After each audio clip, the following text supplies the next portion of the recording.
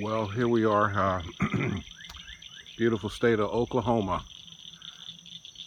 And uh, this is where the state where my mother was born. City called, uh, I believe it's pronounced uh, Old Muggy, Okmulgee.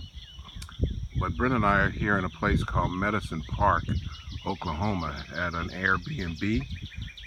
and this is the backyard of a river or lake uh, that's flowing right back in the back of the property. Quite beautiful.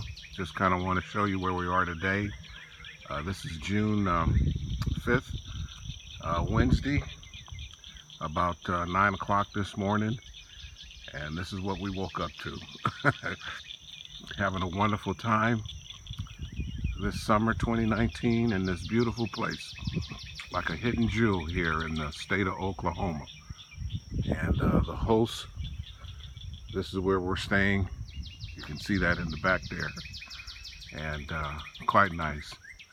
Brenda hasn't seen this yet because she's uh, getting all prettied up. and uh, I'll have to bring her back here. We've got fishing poles. We've got uh, kayaks here. Uh, the boats.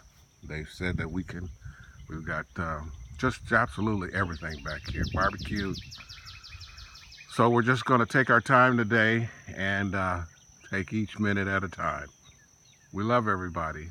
Bye-bye.